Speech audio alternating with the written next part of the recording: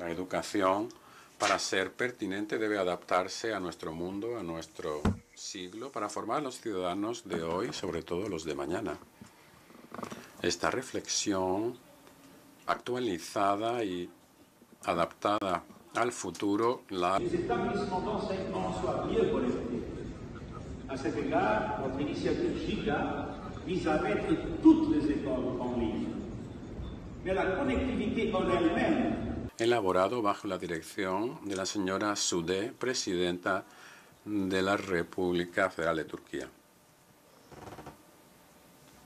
Es el documento, uno de los documentos de referencia para esta cumbre. Ahí se pide que la educación sea prioritaria en nuestros proyectos sociales, de nuestros contratos sociales, para superar el riesgo de estancamiento, de manera que la educación sea la base de este nuevo contrato social adaptado a los desafíos de nuestra época. Aquí cito tres.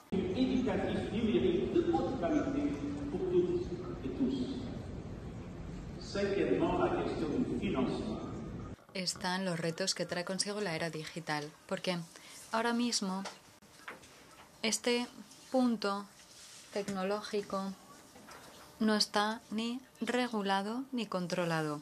Pero el mundo digital, con esta, los Estados miembros se comprometen a reservar por lo menos el 15% del gasto público o el 4% del PIB a la educación, frente al 3,6% de hoy en los países de bajos ingresos. Este compromiso resulta indispensable. Todos sabemos que la educación no es un coste, sino la mejor inversión.